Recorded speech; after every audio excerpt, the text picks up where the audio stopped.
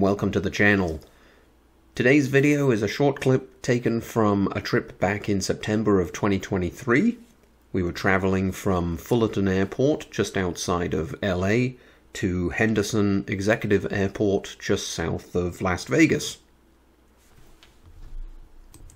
Our route took us out of some very busy airspace around LA and then across the desert um, with some pretty spectacular scenery.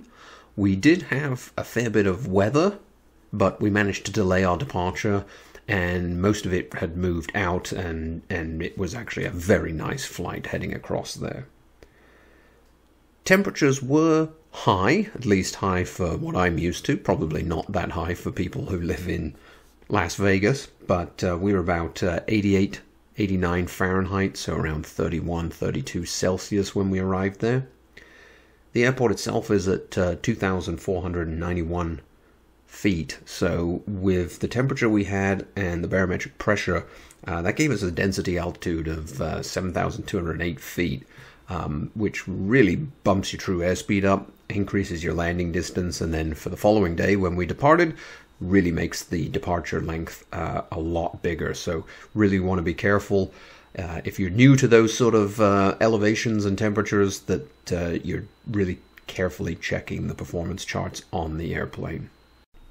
Henderson Executive Airport was very friendly, and the uh, staff at the FBO were really helpful, and we got just what I would describe as top quality service there. Uh, I was even able to uh, give the aircraft a quick uh, pressure wash as we'd been doing a fair bit of traveling at this time and we had got really covered in dust and grit and grime and just lots of dead bugs and, and everything. So that was really brilliant service. So definitely recommended place to go uh, if uh, you're wanting to visit the area.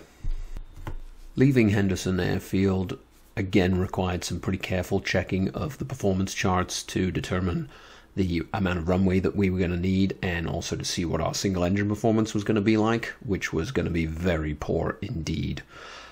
But uh, we departed there and headed across to the Hoover Dam and then out into the Grand Canyon uh, National Park. Um, that needs quite a bit of pre-planning and looking at the appropriate charts. Uh, there's a number of good videos people have done on flying through there, but it's well worth the effort.